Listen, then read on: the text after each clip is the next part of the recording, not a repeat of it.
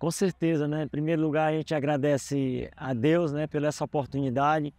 Agradece ao povo de Tuntum, né, da pessoa do Fernando, né, que confiou no nosso trabalho. Agradecemos a você também, que sempre nos apoiou aí, fazendo a célula com os atletas.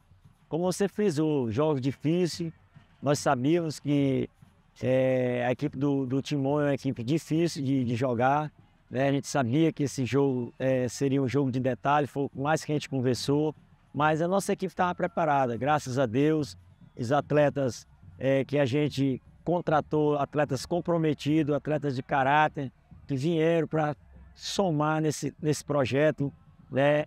que a torcida do, do Tum Tum sempre acreditou né? que a gente voltaria para esse, esse acesso. Né? E agora, é, como eu sempre falo, é um passo de cada vez. Né? A gente brigou pela classificação, depois brigamos pelo acesso, agora todo respeito à equipe do Imperatriz, né? A gente sabe também que é um jogo difícil, já tivemos esse confronto e não vai ser fácil, né? Mas o nosso objetivo já foi alcançado, né? Que foi esse acesso e tá de parabéns tanto o Fernando Pessoa, né? Na, no gestor maior, como essa torcida maravilhosa. A gente só tem a agradecer.